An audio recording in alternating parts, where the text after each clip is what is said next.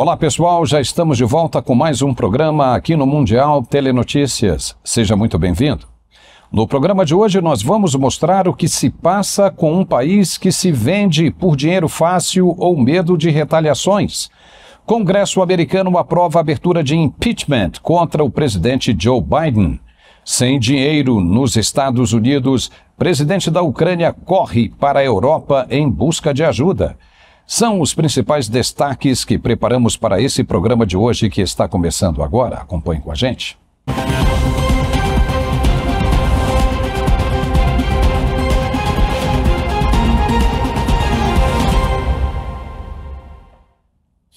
Pois é, Assim tem sido nesses últimos tempos. Quem acompanha o desenrolar dos fatos tem presenciado e percebido a podridão que é todo o sistema político e administrativo do país. Como acreditar nas conversas e comportamentos tempestivos de políticos das duas principais casas legislativas do Brasil? Como? O cara, quando entra ali, ele está pensando mais nele próprio do que no compromisso com o povo que o escolheu como representante. E bobos são os que ainda acreditam neles. Obviamente que existem os templários, as exceções, senadores e deputados que colocam a cara contra o sistema e partem para o confronto direto, mesmo sabendo que são menores e mais fracos. Esses merecem todo o respeito possível. Mas os covardes, aqueles que se vendem por qualquer quinhão, esses não. Esses não merecem nada, apenas o desprezo e a certeza de que não estarão de volta ao parlamento no próximo pleito. Foram mais de 4 mil assinaturas populares pedindo aos senadores que não aprovassem o nome de Flávio Dino no plenário mas elas foram simplesmente ignoradas. E por quê? Por causa do bendito ou maldito voto secreto. Nesse caso, não houve medo de parlamentar de enfrentar uma rejeição do escolhido, do indicado para a vaga, porque ele poderia agir conforme a vontade do povo, se ele fosse mesmo um legítimo representante do povo. Não haveria perseguição, pois ninguém saberia que ele votou contra. Mas, se votou a favor, foi porque a índole não é boa. É ele achar que está acima daquele que tem de representar. Votou conforme seus próprios interesses. Só lembrando que o presidente Lula liberou mais de 10 bilhões de reais em emendas dois dias antes da sabatina e votação. Essa é uma quinta-feira de ressaca de perda de campeonato. Nada adianta movimentações, de manifestações, de deputados e senadores irem para as mídias sociais e pedirem para o povo pressionar o seu senador ou deputado. Não! Nada disso adianta. E a prova foi dada. O que o parlamentar quer mesmo é ter o bolso cheio. Trair o povo não é nada para ele. E também não adianta nada essa perda de tempo tremenda que é passar um dia inteiro de sabatina, sendo que as cartas já estão sempre marcadas. Para que esse teatro todo? O Brasil é um país vendido, corrupto, onde quem tem mais consegue o que quer, principalmente se tiver senador pendurado pelo rabo no judiciário. Olha ele aí, aquele que ninguém imaginava que votaria a favor, aquele que fez parte da CPMI, que sabe o que representa o nome de Flávio Dino no Supremo e como ele agiu em todo o processo de investigação da comissão de inquérito. O senador Sérgio Moro, com a sua aparência sóbria, séria, foi flagrado em troca de mensagem, sendo orientado a votar a favor de Flávio Dino. Veja o que estava escrito na troca de mensagem dele com um tal de mestrão, abre aspas. Sérgio, o couro está comendo aqui nas redes, mas fica frio, que já já passa. Só não pode ter vídeo de você falando que votou a favor, senão isso vai ficar a vida inteira rodando. Estou de plantão aqui. Qualquer coisa é só acionar. Fecha aspas. Uau, que sacanagem, hein? E o senador ainda respondeu, aspas, Beleza, vou manter meu voto secreto, é um instrumento de proteção contra a retaliação. Fecha aspas. Você viu aí? Não há nada que permaneça oculto, tudo será revelado, nenhuma mentira ficará escondida. Como acreditar nesse homem, nesse senador de agora em diante? Como? Ele tem medo do que pode acontecer com ele, mas se o voto era secreto, por que ele não votou contra, como todos acreditavam que ele o faria? Ninguém ia saber. Mas se votou a favor, traindo aqueles que acreditavam nele, é porque tudo o que ele dizia com ar de seriedade era mentira. O homem é perigoso mesmo e nos parece que está do lado errado. Agora resta pensar em quantas mais propostas ele votou contra o povo brasileiro. Fica difícil. O Brasil precisa de homens de coragem. Depois do que aconteceu na noite dessa quarta-feira, ninguém mais tem dúvida de que o governo que está aí aprova o que quiser. Basta ter dinheiro disponível, porque dinheiro na mão é calcinha no chão. Já ouviu isso? Mas uma hora o dinheiro acaba. Ah, se acaba. E esse amor não é sincero, não é eterno. E que sobrevive a crises. Não sobrevive? Não. Se não tiver como pagar, a coisa desanda no vale da prostituição. E como vai ser quando essa grana toda acabar? Como? Mas se você quiser saber mais sobre isso, nós preparamos um programa especial para os membros do canal. Lá você vai ver entrevistas com os parlamentares que verdadeiramente representam o povo e uma análise mais completa sobre esse tema hoje, nessa edição do Mundial Telenotícias. Nós ficamos por aqui. Vamos falar também sobre outras coisas agora. É impressionante como as irregularidades e desrespeito pelo povo acontecem em quase todos os lugares do mundo.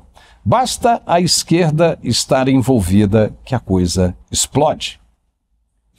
Nos Estados Unidos, a Câmara dos Representantes, o equivalente à Câmara dos Deputados no Brasil, votou formalmente pela aprovação de abertura de inquérito para impeachment do atual presidente Joe Biden foi na noite de ontem.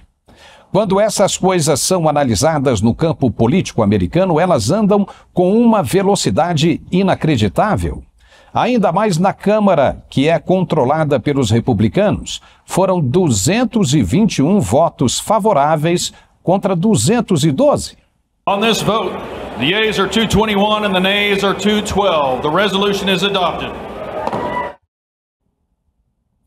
Aprovada. Biden está sendo acusado de beneficiar os negócios escusos de seu filho mais velho, Hunter Biden, de 53 anos, quando ainda era o vice de Barack Obama na Casa Branca. Ele teria passado informações privilegiadas e secretas que ajudaram o filho a faturar bilhões de dólares em negociações irregulares. Os deputados não aceitaram a alegação de que as provas eram insuficientes e que tudo não passava de uma armação política. Muito pelo contrário, acharam sim que as evidências eram mais que suficientes para a remoção do presidente do cargo. No fundo, há quem diga que Biden está sendo expurgado, minado para o próximo pleito eleitoral previsto para 2024. E ele sabe que será muito difícil vencer essa revanche com o ex-presidente Donald Trump, que volta agora com a força estupenda. O processo, mesmo que indique pelo impeachment de Biden, ainda terá de passar pelo Senado, e é ali que a coisa muda um pouco de figura. Porque no Senado, a esperança do presidente se concentra, pois a casa é de maioria dos democratas e eles não vão permitir a saída do partido no governo. Os republicanos sabem disso também, mas estão mais interessados em sujar bem a imagem do atual presidente para que ele entre na disputa pela reeleição já desidratado e desacreditado. Desta maneira, o leão Donald Trump, com a sua juba exuberante, venceria sem maiores problemas e retornaria à Casa Branca para dar continuidade ao que havia começado um endurecimento político com a China e Rússia e a mão forte sobre os latinos americanos, como Nicolás Maduro e possivelmente a esquerda brasileira também. Nós vamos acompanhar de perto. E já que falamos da situação complicada do presidente americano, quem também está na chuva é o presidente da Ucrânia, Volodymyr Zelensky. O cara não está conseguindo os 61 bilhões de dólares que foi pedir para os americanos. E o presidente Biden não sabe mais o que fazer para não deixar o amigo na mão. O plano B dessa história é tentar conseguir dinheiro na Europa mesmo, perto de casa. Diplomatas da União Europeia se reuniram nesta quinta-feira com a intenção de discutir propostas emergenciais que possam levantar fundos para a Ucrânia. O problema tem sido a Hungria, que se recusa a ceder à pressão para retirar o seu veto a um pacote de apoio crítico para Kiev.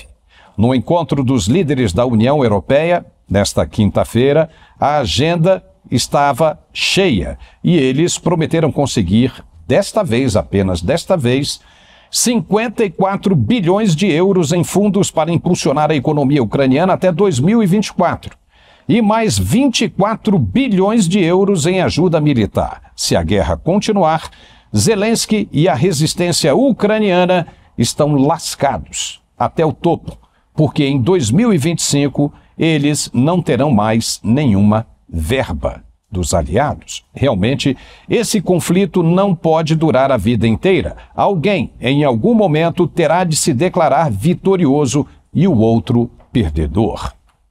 Mas quem está rindo à toa pelos cotovelos é o presidente russo Vladimir Putin.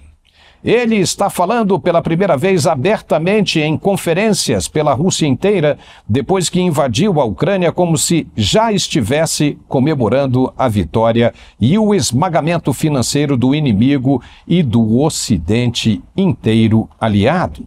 Em entrevista nesta quinta-feira, ele disse que a paz vai voltar para a região invadida tão logo o povo ucraniano reconheça a derrota.